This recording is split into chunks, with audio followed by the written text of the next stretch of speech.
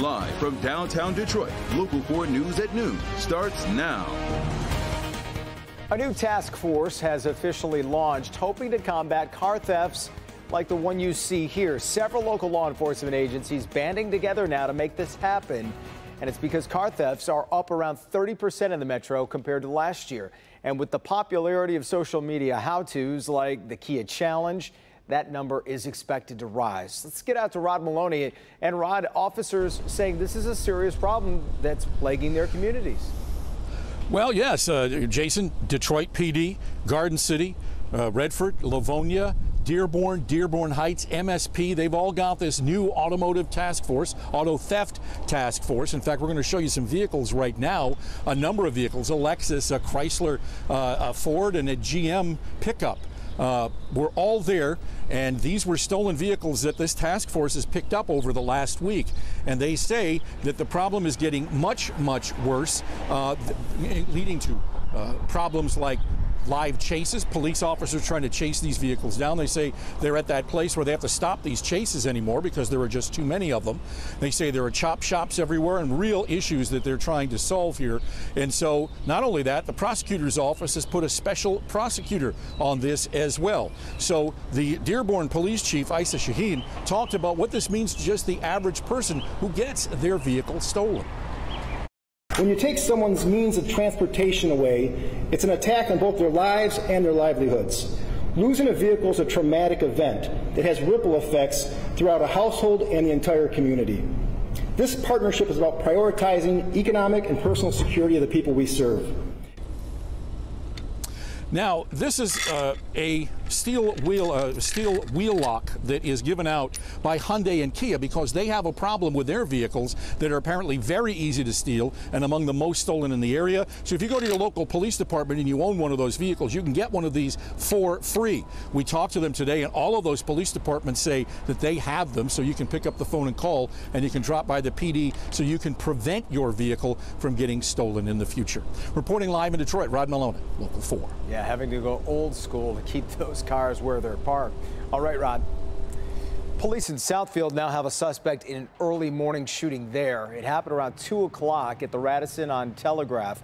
When police arrived, they found a 25-year-old Detroit man shot. He was quickly rushed to the hospital where he's critical. Detectives say a 32-year-old person in Oak Park is now a prime suspect. Cuts are coming to Grosse Pointe Public Schools after the board voted 4 to 3 to approve $4.6 million in budget cuts last night. Between 4 and 15 teachers will be laid off. That final number still depends on how many teachers retire or leave the district on their own. People working in central administration like communications are expected to be let go. The district is partially blaming declining enrollment for its financial woes. Coast Guard teams desperately searching to find that missing sub with five people on board. NBC News' Kristen Dahlgren takes a look now at the submersible Titan and what it's like to explore the Titanic's wreckage.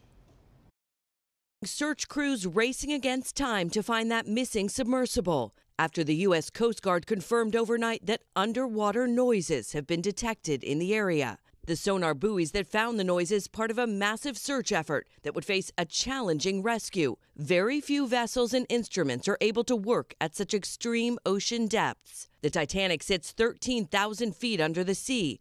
That's more than nine times the length of the Empire State Building. Only a small group of people have ventured that far. It's part of the reason why OceanGate Exploration pitches passengers a once in a lifetime experience for the price of $250,000. An eight day journey from Newfoundland to the Titanic wreck site, about 900 miles off the coast of Cape Cod.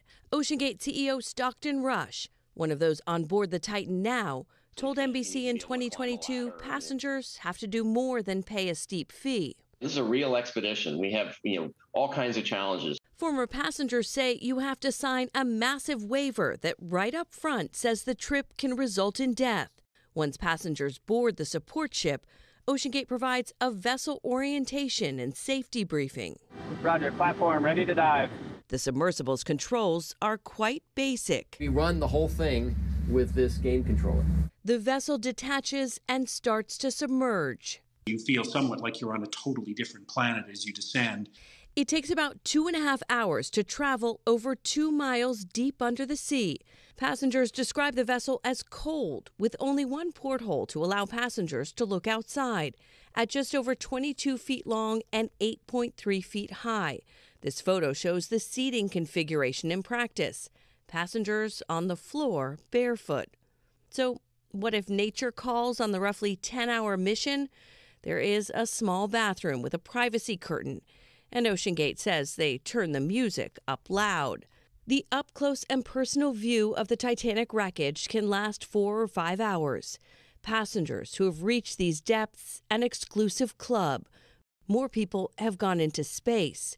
But going this deep underwater is actually technologically harder to engineer this incident is causing the broader tourism industry and especially extreme tourism to be looked at under a, a, close microscope to say, are we doing everything we can? Are we minimizing risk? Wow. Uh, that was Kristen Dahlgren reporting there. Let's go back to those sounds that were heard early this morning. Now, it was picked up by sonar, and officials are saying they think these are banging sounds that have been heard at 30 minute intervals. The U.S. Navy is now sending a deep ocean salvage system to help with this rescue operation as time ticks down. Today, those with suspended Michigan driver's licenses can get assistance getting those driving privileges back. The Road Restoration Clinic in Detroit helps drivers get back behind the wheel. It's happening right now and goes until 6 o'clock at Goodwill Industries of Detroit. Pre-registration was highly recommended, but it's not required. A former bank building being transformed, and it's all part of a multi-million dollar uh, project. The Security Bank and Trust building on Trenton Road is being redeveloped by Southgate Tower into a new residential complex. There was an open house earlier today to see the work being done on the downriver landmark. Today at 5, we'll hear from one owner about what this investment will mean for that community.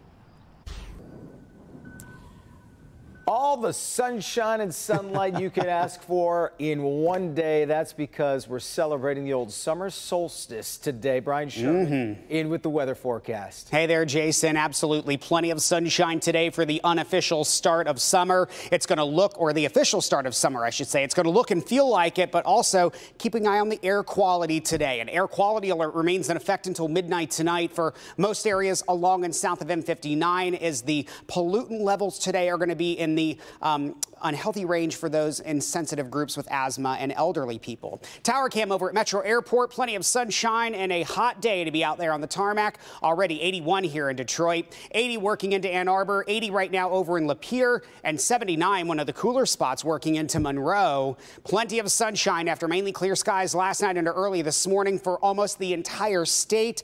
This trend continues as we head into this afternoon. We'll top out into the low 80s this afternoon, mid 80s for some as well, with an isolated shower possible, but better chances for showers and storms arrive by the end of the week. I'll time out when that umbrella is going to come in handy. Your complete forward forecast coming up in just a few minutes.